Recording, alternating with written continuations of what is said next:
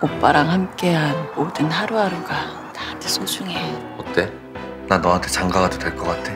한유라 씨가 그런 부탁을 했다고요? 최동 씨한테 돈 줬어요? 나한테 돈을 더 달라고 하던데요. 나형 잃으려고. 형한테 미안해하지도 않을 거고 유정이한테 직진할 거야. 네 옆엔 이미 한유라 씨가 있잖아. 그러면서도 나한테 이러는 거 나랑 불륜하자는 거니? 너 태풍이랑 사귀는 거 맞냐고? 이 지지배가 미쳤나 봐 정말. 태풍이는 네 형부야.